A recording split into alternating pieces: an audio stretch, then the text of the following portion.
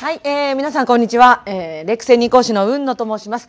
今日はですね、えー、私があの執筆いたしましたゼロからスタート司法書士の一冊目の教科書というですね、えー、角川さんの方から出させていただきました、えー、出版記念イベントということで、えー、今日この生ではあのレック新宿エルタワー本校で、えー、こうして皆さんの前でですね、えー、約1時間ほど、まあ、1時間弱、えー、お話をさせていただく機会を得ました。今日はあの出版記念イベントということなんですけれどもせっかくですから、えー、中身のところをですね少しいくつかお話をさせていただこうと思っております。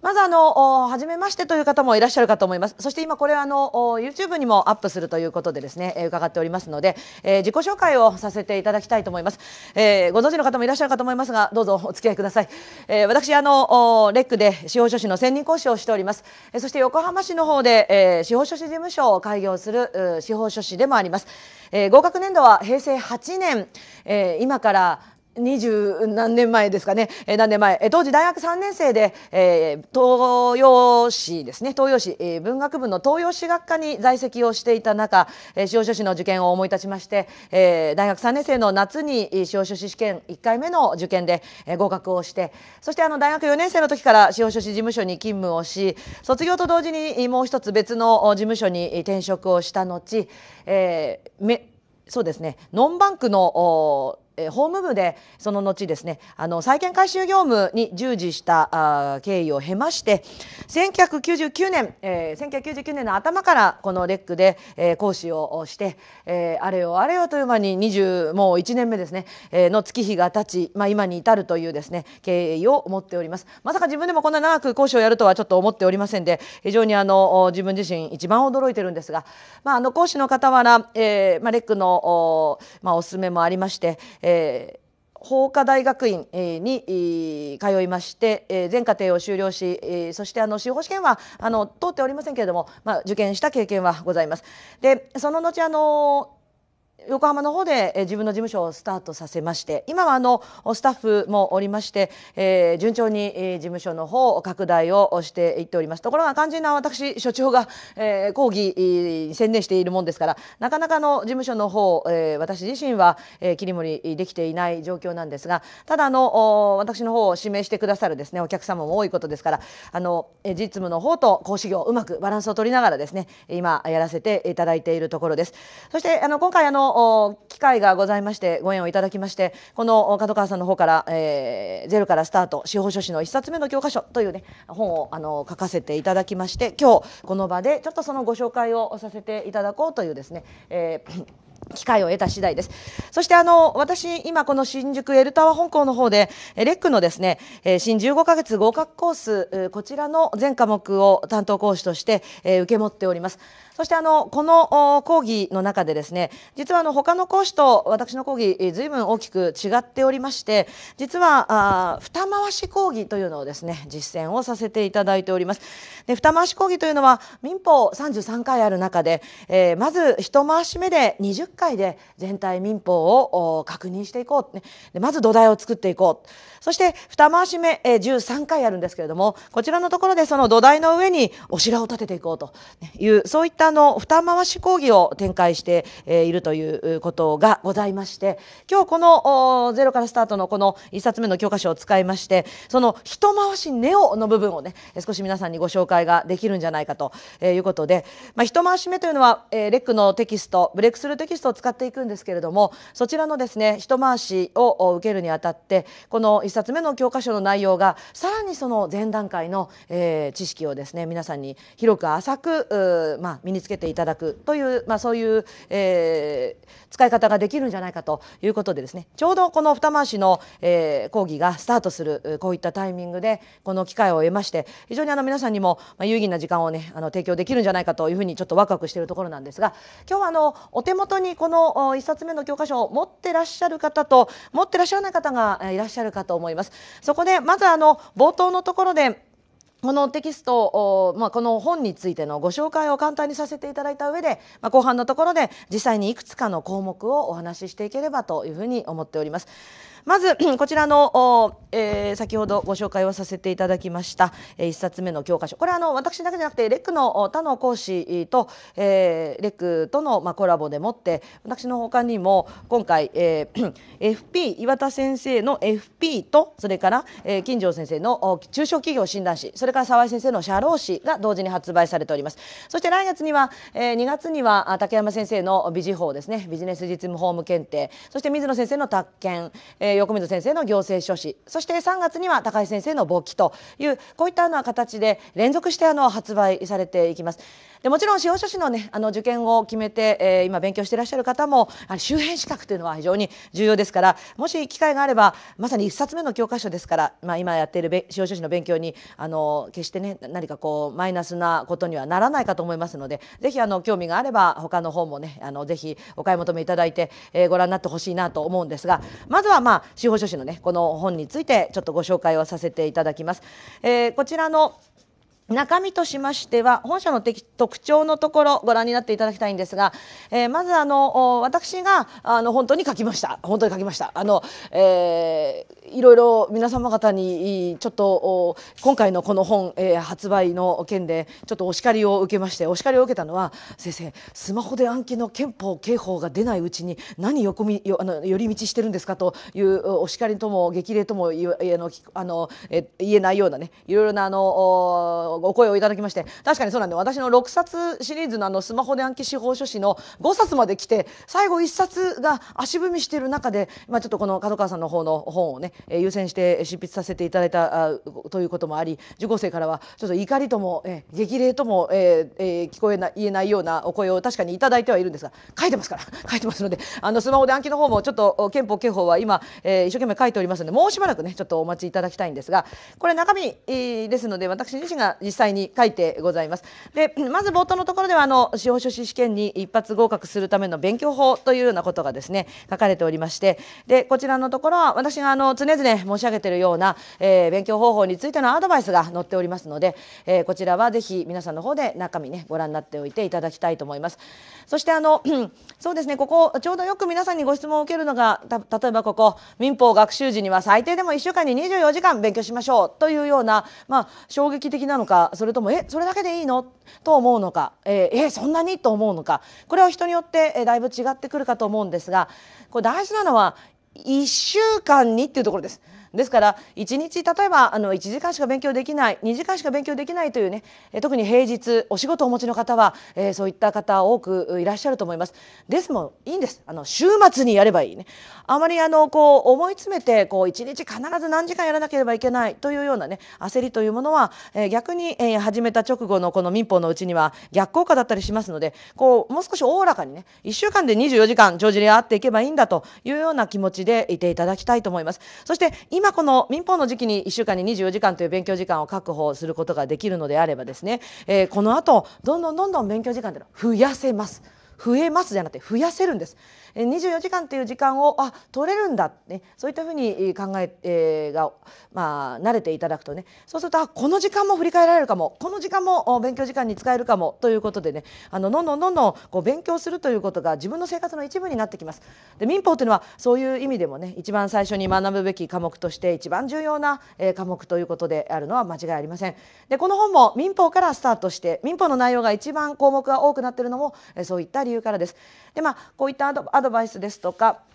それから、まあ、六法についての距離感ですとかね、えー、あの分からないことがあったらどうすればいいかなどがこの9ページまでに載っておりますから。どうぞ皆さんの方でご覧になってみてください。そして次に、まあ、10ページ以降は司法書士になるための司法書士試験の概要があの載ってございます。で司法書士試験の概要としましてこれはあの一般的に法務省から発表されているような情報をベースにしたものですが、えー、ご存じない方はぜひどうぞご覧になっていただきたいと思います。そして目次でしてまず第1章が民法、えー、となっています。で民法はご存知の通り民法相続物件債権そして親族相続という4つの部分に大きく分かれてございます。でこちらのあの民法2020年の債権法大改正に完全対応させております。ですのでえ債権法の改正後の民法で勉強しようと考えていらっしゃる方のまさに1冊目の教科書として、え、最適ではないかなと思います。そしてまたあの合格されたえ、司法書士のですねあの合格された後の、まあ、合格された後の方だったらばもうちょっと難しい本を読めるのかもしれませんが、まあ、例えばその司法書士の勉強、えーをかつてしたことがある。だけどいろいろなこと経緯によって、まあ、今は挫折してしまったというような方にも新法がどう変わるのかなということを、ね、ご覧になっていただくためにこの民法を手に取っていただくというのもおすすめかなと。で内容としましては全34項目に分かれております。34項目決してこれだけで合格に必要な知識が全て詰まっているとは申しません。1冊目の教科書ですからこれだけで合格するとは口が裂けても言いませんがですがやはり何事もまずは一歩から始めなければいけませんのでそういった意味の一歩目の知識としては非常にあのレベルとして敷居低く書いているんではないかなと思っております。そしてあの一章ごとにコラムもね載せておきましたので、えー、これはあの一章目のコラムは就職活動にも役立つ司法書士の資格私があの平成8年あの大学3年生の時に、ね、合格して、えー、3年生合格した後に一般企業に就職経験を一般企業の就職活動をした時の、えー、エピソードなんかが載っております。後でどうぞご覧になってみてください。そして第2章が不動産登記法です。で不動産登記法は皆さんにちょっとあまり馴染みがない科目だと思うんですね。で不動産登記法を大学の時代に勉強されたという方あんまりいらっしゃらないと思う。でそこで不動産登記法についてはもう本当にぐっと敷居を下げまして、えー不動産登記とは一体何なのか、ね、そして登記申請書はどういうふうになっているのか。で、えー、そして所有権に関する登記抵当権に関する登記等々ですね、まあ、あの少し突っ込んだ内容へと、えー、徐々に徐々にこうレベルを上げてまいりました。で 実は、えー、これを読みました。すでに1年、えー、先に皆さん方よりも勉強を始めていらっしゃる。今年が1回目の受験の方。あの不動産登記法と会社法と商業登記法の部分を読んで先生これマジ使えますとかあの講義の復習に使いたいいやそれはちょっと簡単でしょう。レベルとして簡単でしょうなって言ったらいやいやこれぐらいのものでね少しあの軽く復習するっていうのもすごく役に立つと思うというようなことを言ってましたので、まあ、すでに勉強を始めた方にとっても不動産登記法の内容等々本当にさーっとこう復習をしていただくような内容としてはありなのかもしれませんね。でそして第3章の部分が会社法になってまいります。ですでにあの2020年合格目標であの私のクラス15か月合格コースをね申し込みされた方で会社法商業登記法を先取りなさった方も多いと思います。でいきなり最初に会社法というのは相当つらかったと思うんですけれどもそのねあの非常に難しい内容の会社法を勉強されてそして今一度ちょっと、えー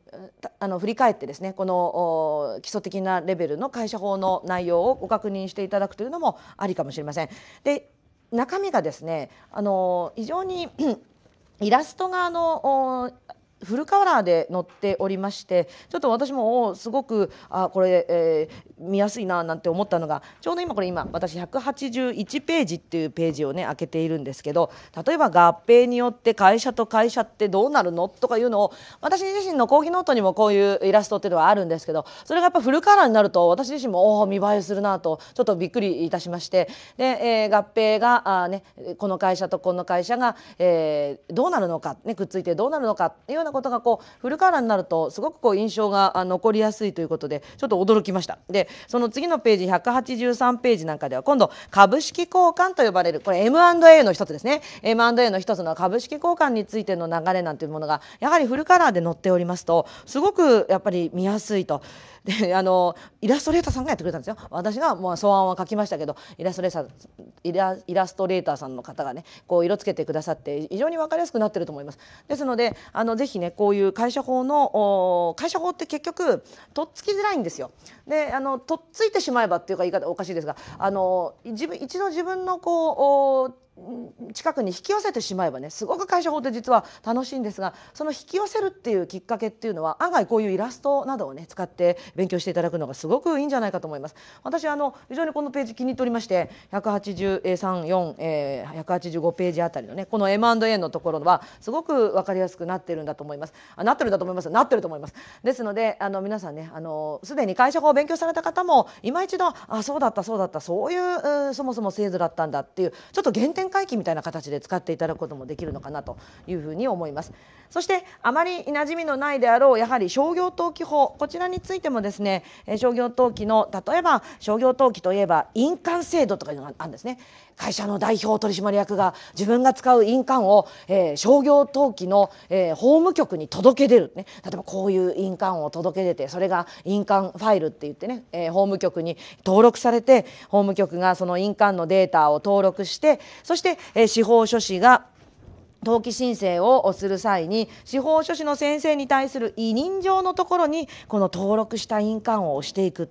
えー、司法書士への委任状に登録した印鑑を押してそして、その委任状をつけて、登記申請をすると受け取った登記官はこの委任状に押された代表取締役の印鑑とあらかじめ登録されたこの、ね、会社代表者の印鑑の印鑑照合を行って実際にその印鑑が一致すれば、えー、本物の代表者から登記申請があったといういうことがこう、ね、確認取れるんだよっていう商業登記の、まあ、基本ともいえる印鑑届出制度やっぱりあのこういうこう本物らしい、ね、イラストで描いてもらえるとすごく皆さんにも身近になるんじゃないかと思います。そして、えー、中でも商業登記法の中なんかでは私がすごくあこれ分かりやすいなっていう 自分で書いておいて分かりやすいなっていうのもあれですがやっぱ絵になるとね全然印象違うなと思ったのがこれ207ページ今開いたんですけど商業登記法で、えー、資本制度資本金制度。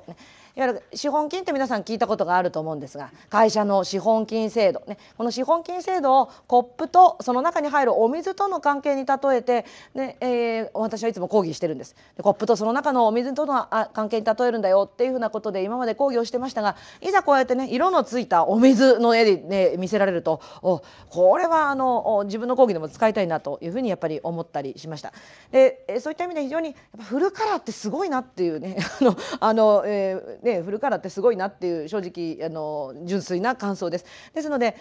まあ、例えばどこから読んでいただいてもいいのかなと思うんですがそのパッとね、えー、見て大体見開き2ページで内容があこう左側ページに文章が右ページにこうイラストがというふうになってますのでそういった意味ではこう皆さんに非常に見やすく使っていただけるんじゃないかと思います。で まず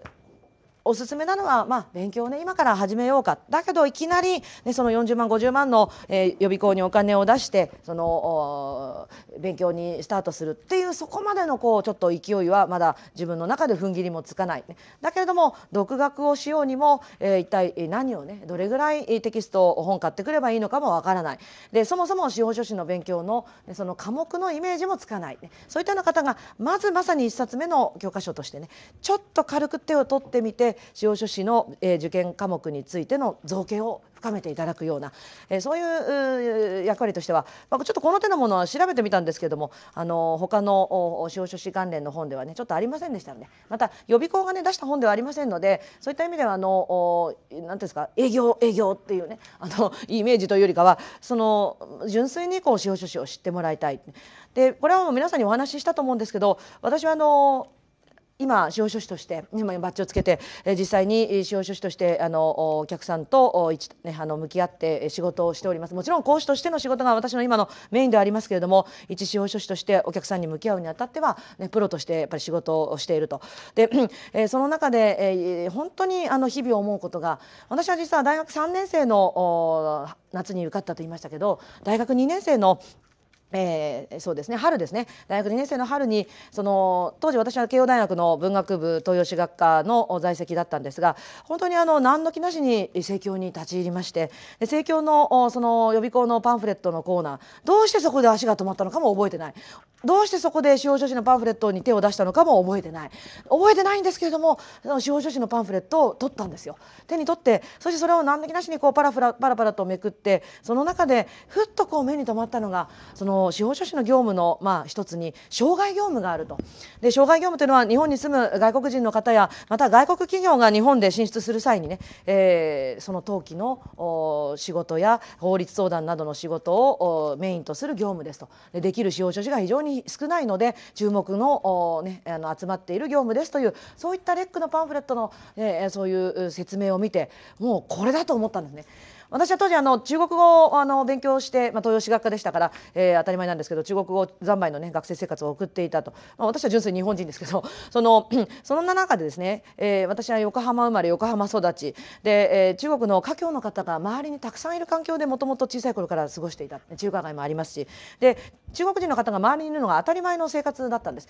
でそんな中で郵便局に行けば郵便局の方が中国語を喋れる、ね、なんていう環境にいたもんですから非常に身近なあの環境だったこともあります。ましてでななんかこう中国と関係あるような仕事をというふうに常々思っていたそこにもぴったりとねもうあのフィットしたと。ではこれだと、ね、自分があのやっている中国との関係中国の勉強とね。それからあ自分、えー、大学入る時に、えー、法律に興味がありましたので、まあ、法学部か文学部か悩んだ経験というのはありましたからもともと法律には興味があったでそことが見事にこう一致して、まあ、文学部豊吉学科で食っていくことはできないよって先輩や教授からずっと言われていたのもありましてね、えー、文学部に入るにあたって学問として、えー、精一杯楽しもうと。だけど自分はこの道で将来ね食っていくことはできないだろうって最初から 思って入学した経緯もありましたんで、ね、学問としては文学部の東洋史っていうのはすごく楽しい学問ですけど、えー、これで食っていくことはできないなんて思っていた矢先の出会いだったもんですから。もうその日にね受験を決めて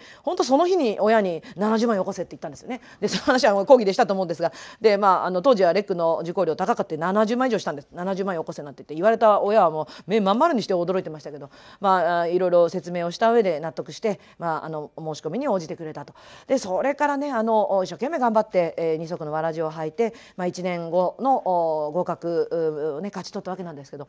でその後、まああれよあれよという間に、まあ、何十二十年二十年経ちましてね。今本当に思うのはもうあの時の自分を褒めてあげたい。もうそれはこの橋書きのとこにも書いたんですけどあの時の自分にもし会えるんだったら、ね、もうお前でかしたって本当に言ってあげたいと本当に思ってます、ね、よくぞあそこでレックのパンフレットを手に取ったってね。よくぞあそこであの司法書士のね資格に自分はあの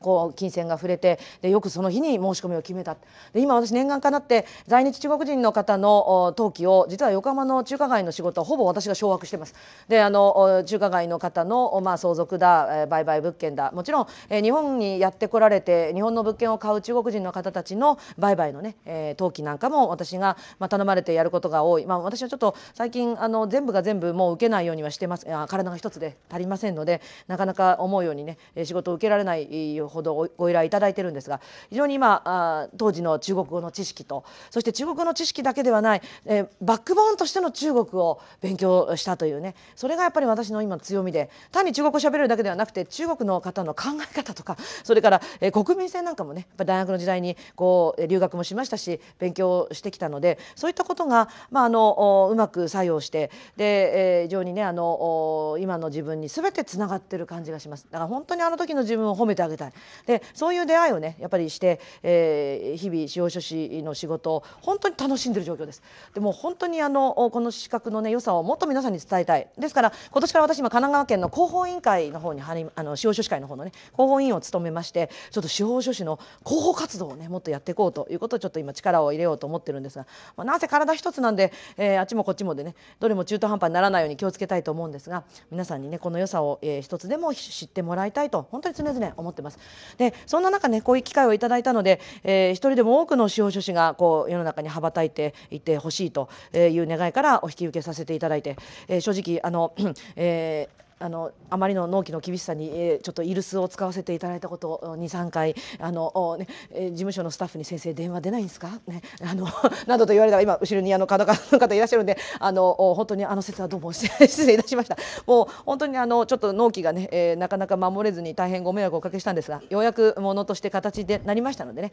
あとはこう皆さんにぜひあの愛してもらえるような本にね、えー、これからも末永くねあのちょっとあの見ていただきたいなと思っているところです。さあじゃあまあ前置きはそれ願いにいたしましてあの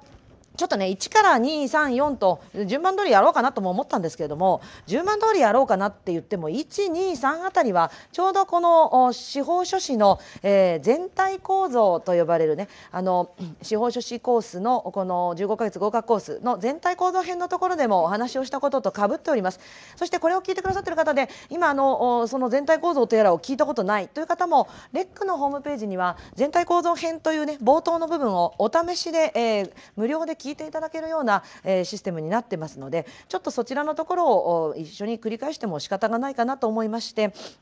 ちょっと123のところはちょっと割愛をしつつ、えー、具体的には全体構造のところでやっていなかったようなところをねちょっと見ていきましょう。ではまずあの1番のところなんですけれども、えー、実は私たちの生活に直結している民法というねタイトルを付けさせていただきました。ちょっとタイトル部分だけ移させていただきますねで これはあの民法がいかに我々の生活に身近かというようなことをですね、えー、書いている。で実はあのどんなに箱入り娘であってもねやっぱり民法と関わりなしにこの日本で生きていくことは実際にはできないんだよと。そういったようなことが書いてありましてで、えー、23ページ右側のところには民法のいわゆる財産法並びに家族法の、まあえー、全体像というものが書かれていますのでこれはもう皆さんの方でちょっとご覧になってみてください。そして、えー、2番のところでは売買契約が成立するのに必要なことは？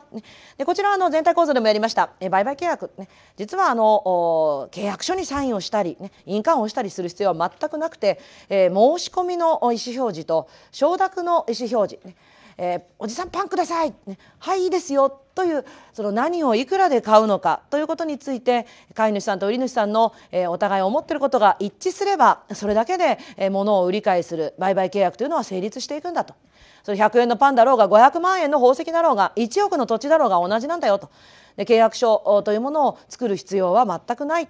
契約書を作るのは実際には後で言った言わないのトラブルを防ぐためなんだよなんてことが書かれているわけです。でこちらのところも、まあ、お話をねさせていただいたので特にここではちょっとコメントいたしません。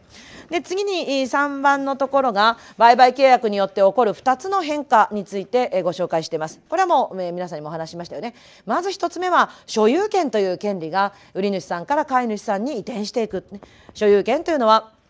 えー、この対象の物というんですが対象のものを自由に使用したり、ね、収益したり処分したりすることができる権利。収益というのは人に貸してお金を取ること、ね、処分というのは売ったり捨ててしまうこと、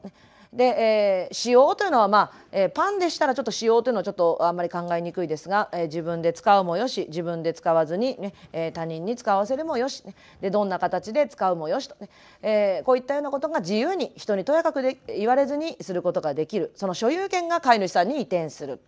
そして、えー、変化の2つ目としては債権債務というものが発生していくよ。で債権債務というのはえー、ここではあのお金払ってよっていう飼い主さんから売り主さんへ請求する、えー、代金債権と、ね、だったらパン早く引き渡してよというふうに飼い主さんから売り主さんに、え、請求する飼い主さんから売り主さんに請求する引き渡し債権と。ある人がある人に対して何かしてくれと請求できる権利を債権と呼ぶんですよと。で売買契約ではパン引き渡してよの引き渡し債権と。だったら代金払ってよの代金債権とが発生してくるということだったわけです。でこの所有権に代表される物件。と代金債権引き渡し債権に代表される債権というのはこれは違う権利の種類なんですよという話もすでにさせていただきましたよね。債権と物件、ね、こちら27ページのところで後で詳しくご覧になっておいてください。そして4番ええここからはあのやってなかったですね。売買契約の意思表示は実は3段階に分かれているということだったわけです。さあ あのおじさんパンください、ね、はいいいですよ。申し込みの意思表示と承諾の意思表示でしたけれどもこの例えば、えーまあ、パンではなく車に置き換えてこの車くださいという意思表示を一つ、えー、例にとりますと実はねこの意思表示物好きですよね法律って。私も初めて聞いた時いやもう法律って物好きだなってその意思表示を4つに分解あ3つに分解しようなんてね。まあ物好きな学問だと最初思ったんですけど、えー、実際にこれ3つに分解してみようというね、えー、ことが、えー、あの言われてるんです。で まず1つ目が内心的公開視と呼ばれるもの、ね、これはあの車を買おうなんていうふうに心の中で思う、まあ、要するに真意に本心にあたることですね。本心にあたること。でそして、えー、その後よし売り主さんに向かって、えー、あの車くださいと言おうと決心すること。これを表示意思と呼んでいきます。そして実際に売り主に対して売ってください。この車ください、ね、ということを車、えー、ください。え言葉で言ったり身振りや手振りでもって表現をすること。これを表示行為と呼んでいきます。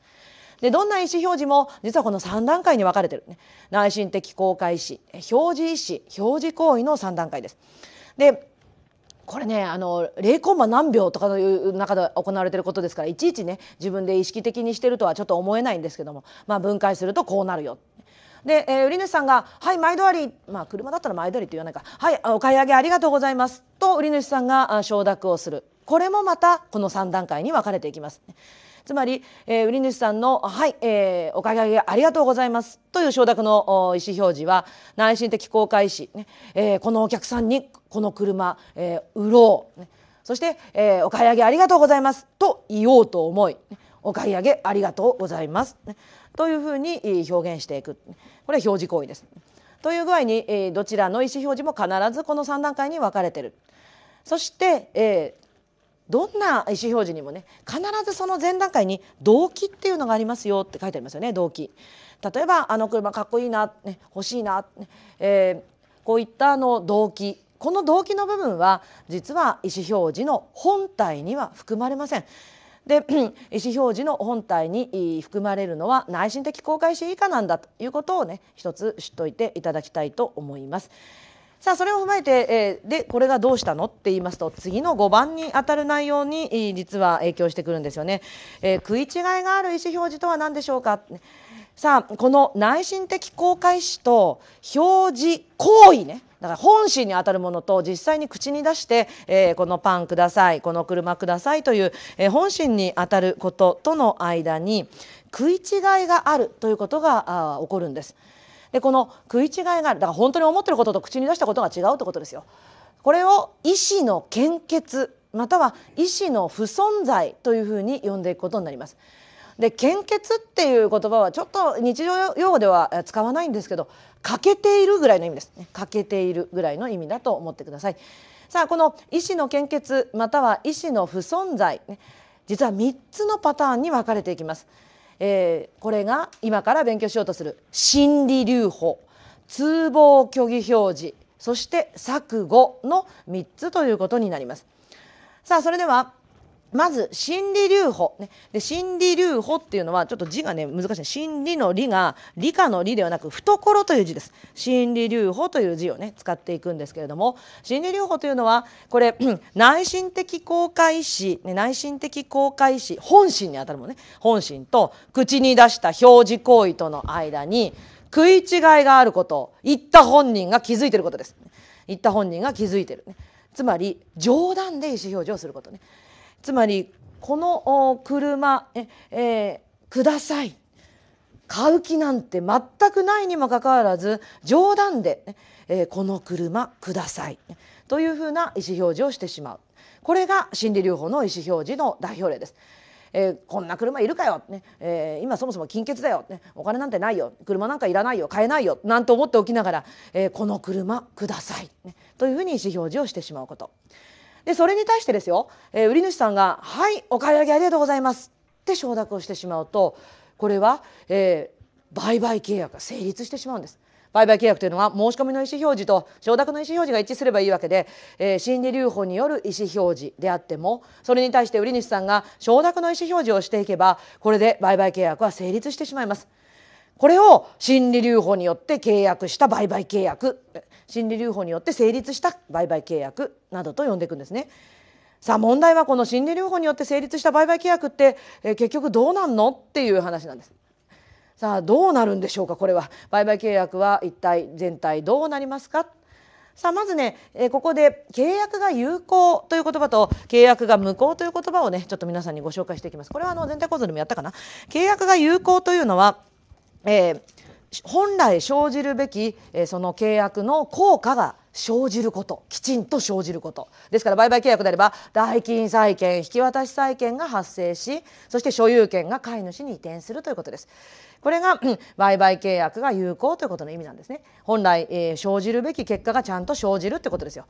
でそれに対して売買契約は無効というのは、えー、その本来契約から生じるべき結果が生じないことなんです。だから所有権は移転しないし債権債務も発生していかない。さあそれではじゃあこの心理療法による意思表示によって成立した売買契約は果たして有効なの無効なのというと実はこれ売買契約は原則として有効なんですね原則として有効ですよでつまりこれは契約が有効なんですから所有権は飼い主に移転するし債権債務も発生してしまうということです。でその心はねその冗談言うような飼い主の B さん飼い主の B さんよりもそのこの契約に期待して承諾をした売り主の、え A さんを保護するべきだあ反対か。これ売り主と A さんと B さん反対か。売り主 A さんが売る気がないにもかかわらずだ。ちょっと今私が言ったの飼い飼い主とひっくり返っちゃってますが、えー、とにかく相手方を保護するために契約は有効ですよ。契約は有効ですよ。この例に従ってじゃあやりましょうか売り主が売る気がないにもかかわらず売ります、ね、というふうに言って飼い主が「ありがとう!」って言っちゃうとこれで売買契約成立ですよね。ちょっとさっきとひっくり返して説明してますが売り主が売る気がないにもかかわらず君に売ります、ね、と冗談でいいで飼い主がありがとうと言うと売買契約が成立ところがこのようにして成立した契約は原則として有効であるよとねでその心は、ね、その冗談を言うような A さんよりも信じてこの契約に期待しちゃった B さんを保護するのが狙いだよということだったわけです。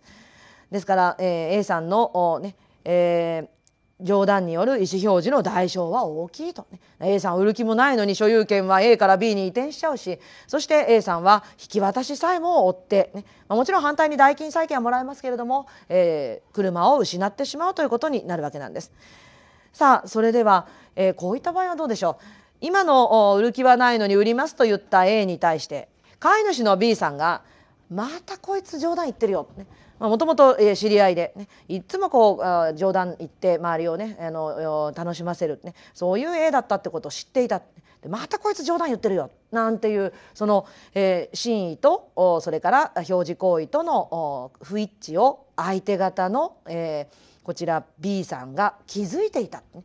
この悪意って言いますよね。ある事実を知ってることを悪意なんていうふうに言うんですが気づいていた。悪意である、または、ね、ちょっと注意をすればそういったあ冗談を言っているんだということに気づくことが可能だった。例えばちょっと注意すれば気づくことが可能だったというのは例えばもともとよくこういう冗談を言う A であるということを知っていて今回はたまたま冗談だとは気づかなかったけどその一連の、ねえー、言動を総合的に考えれば今回もまた冗談であるということが気づくことが可能だったというような場合です。でこういったような場合には、えー、相手方の B さんを保護する必要はないよねということで今回の契約は無効つまり契約によって生ずべき効果は生じないよということになっているんです。でこのように心理留保による意思表示は原則として有効、えー、ところが相手方が、えー、その内心的公開主と表示行為の不一致を知っていたか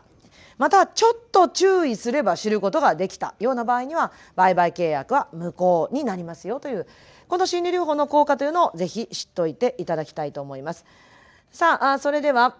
えー、こちら33ページ。持ってらっしゃる方どうぞ。33ページをちょっとご覧になっていただくとそこに図が書いたんですね。これ図ちょっと映させていただきますとまず 売り主 A さんね、えー、本当は売る気はないけど土地を売ります、で、えー、土地を買います。で B さんがこれに承諾をしてしまった。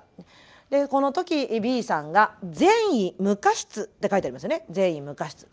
で善意無過失というのはこれある事実を知らないことを善意と言います。である事実というのは今回 A さんの本心と、え口に出したことが食い違ってるという心理留保による意思表示であることを知らないことですね。でその知らないことに過失がない過失というのは不注意というぐらいで理解していただいて結構です。つまり不注意なく知らなかった。A さんの心理療法による意思表示を B さんは不注意なく知らなかった。こういった場合には契約は有効であり A さんは土地の所有権を失い土地の引き渡しさえも負ってしまうということなんです。さあでは反対に先ほど言いました B さんが、えー、心理療法による意思表示を知っていた。悪意と言いますね。知っていた。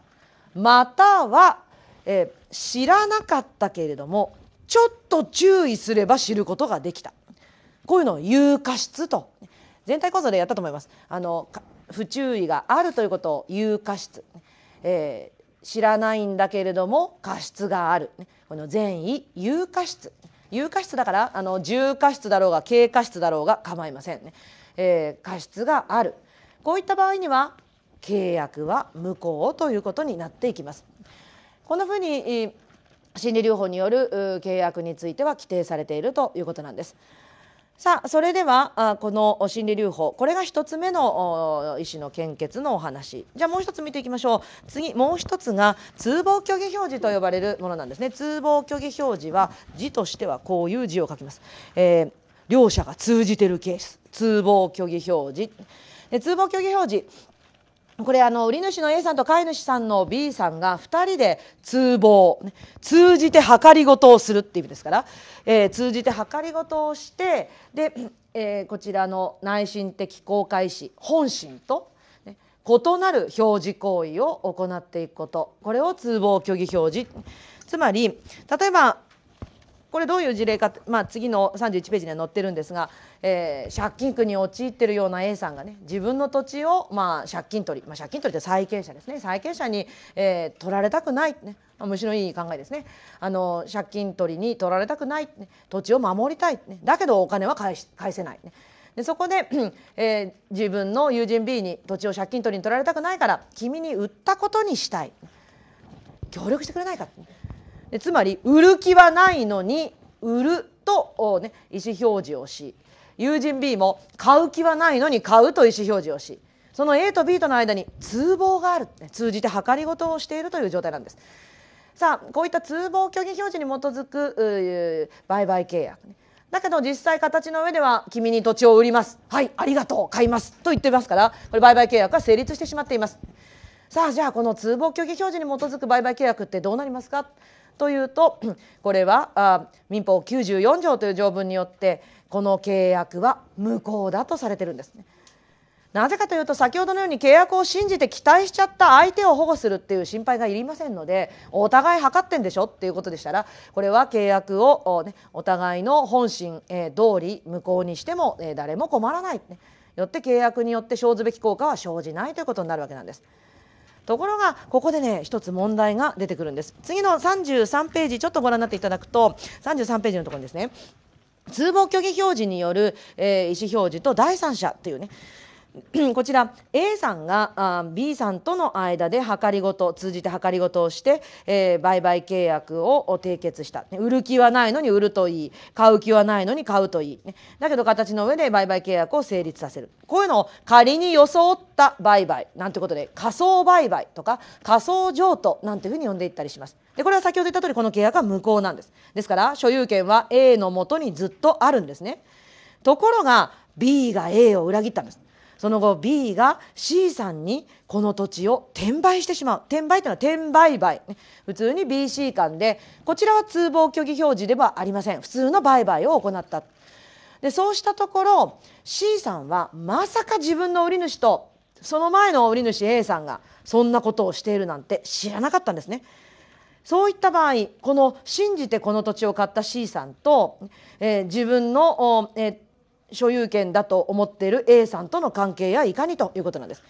でこの効果については実は94条の2項という条文が、えー、A さんは AB の無効を善意の第三者 C には対抗できませんよ規定してるんです。AB 間の無効を善意の第三者 C に対抗できない対抗というのは主張ぐらいの意味ですから、えー、A は C に対して C さん C さん、ね、あなたが買った B さんって所有者でも何でもないんだよ。なぜならば私と B との間で、えー、94条通報虚偽表示による売買が行われてこれは無効だから、ね、所有権は A のもとにあり B には所有権移転してないんだから。所有者でも何でもない B から買った C さんはあなた所有権取得できませんよ。とは言えないということなんです。結果的にこれ C さんの土地になってしまうというふうにお考えください。これはねもう結局法が考えるバランス感覚ね。要するに通報虚偽表示で自分の土地守ろう、ねまあ、通報虚偽表示なんかしたような A さんより信じて期待した C さんの方を保護するべきじゃないというのが法の趣旨なんだということです。ただもちろんね A さんはその後 B さんに落とし前つけますよ。なんでお前売ったんだよってね 言いますよ。それは言えます。それは A は B に対して、ね、C から受け取った金よこせとかねそういうことはもちろん言えますがあくまで C さんの所有権は変わらないとね。じゃあ続いて3つ目。3つ目の今度は内心的公開詞と表示行為の食い違い。錯誤について見ていきましょう、えー、錯誤。この錯誤というのは内心的公開詞本心。表示行為口に出したあ言葉。との食い違いに言った本人が気がついてない。言った本人が気がついてない、ね、さあここです。ね。いわゆるここで、えー、まあ、33ページ見ていただくと A さんが実は A さんはね、えー、実はいいですか？101と102号室両方の部屋を持ってました。ちょっとあの本文の内容と若干変えますけど101と102ね、えー、本両方の建物部屋を持っていて実はこれ101を売ろうと思っていたのに間違って B さん102号室を売ります。言ってしまった、で言った本人が気が付いてないんです。本心101を売りたい。口に出した言葉は君に102号室を売る、で B さんが「ああじゃあ102号室私買います」と承諾してしまうこれが、えー、錯誤による意思表示錯誤により成立した売買契約です。で この101号室を売るという本心に対して102号室を、えー、売りますという表示行為の食い違いに言った本人が気が付いていない。でこの時この錯誤によって成立した売買契約はどうなりますかこれが民法債権法改正点で実は昔はね契約は無効となっていたのが、えー、債権法改正によって契約は取り消しができるというふうに改められました。さあ契約の取り消しって何でしょう？取り消しっていうのはこれですね A さんが事の次第に気づいた後契約を取り消しますというふうに A さんが言うことによってね、まあ、もちろん B さんに言うんですよ。B さんに言うことによってそれまで有効だった売買が取り消しによって契約時に遡って無効になる。でこれ遡るっていうね民法大好きなんでこの時空を超えるの。要するに、えー、売買契約が有効だから一旦契約はあによって所有権は B に移転するんですよ。で債権債務は発生するの。債権債務は発生するんだけど、えー、言い間違いに気がついた A が B に取り消します。というふうに言うことによってえー、契約した時に遡って最初から売買契約は無効。つまり所有権は移転していなかったことになるし債権債務も発生していなかったことになる。これが契約を取り消しますという効果なんですね。取り消されるまでは有効と言ったりします。さあなぜ無効にしなかったと思いますか？これなぜ無効にしなかったかというとこれねあの言い間違いがあって、えー、この成立してしまった契約。必ずしも必ずしもこれは無効にする必要性がないだろうというふうに法が評価したからなんです。つまり確かにね101を本当は売ろうと思ってて102売りますって言っちゃった。だけど102を、えー、売ってしまったことに気がついた A がまあいいか、ね、まあいいか。まあいいや。じゃあ102、まあ、制約したからまあいいか。と考えることもね十分考えられるんであって。でそれを一律無効だって言ってしまうのは果たしてどうなの？A さん自身に自分で、えー、考えさせたら。ね。だ要するに別にいいかって言うんだったらそのままにすればいいんですよ。そのままにすれば取り消されるまで有効なんだから。取り消さなければずっと有効のままだからなんですね。そのままにすれば有効のまま維持できる、ね。だけどいや私が売りたいのは101だったんだからこれはこの102の売買は無効にしたい言うんだったら取り消せばいいんですね。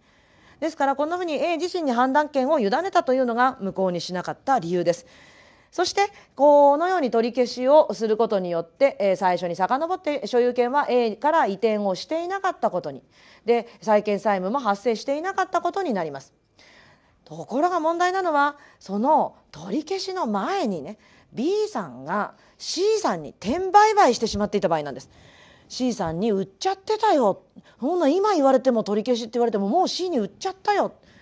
さあこの時取り消し自体はできるんですよ。C さんに売っても取り消し自体はできます。A から BB から C と所有権が移転した。その後に A があ言い間違いに気がついて取り消すことはできます。取り消すことはできるんだけどもそれによってこの AB 売買があ遡って無効となって所有権があ、ねえー、A のところに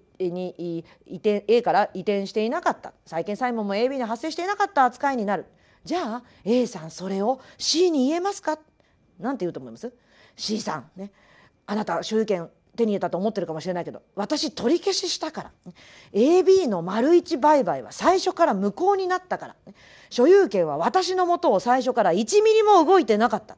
だから結果的に B さんは最初から所有者でも何でもなく所有者でも何でもない B さんからあなた買ったことになるんだよ。えー、なので、えー、所有者でも何でもない人から買った C さんは通常所有権取得できませんから、えー、よって C さんあなたは所有者でもありませんよと言えますかこれが善意の、まあ、かつ無過失の第三者 C さんに対してえー、取り消しによる無効を主張することができますか？という問題なんです。でも結論書いてありますね。無効主張できませんよということなんですね。無効主張できませんよ。ということになっていきます。で無効主張できない理由というのがですねえこれは あのやはりえー、確かに取り消しをすると遡って丸1の時から、えー、売買は無効になって所有権がね、えー、B に移転をしていなかった扱いになるとはいえ丸2の当時だけを切り取って考えればこの時はまだ丸3の取り消ししてないわけですから B にれっきとした所有権があったんです。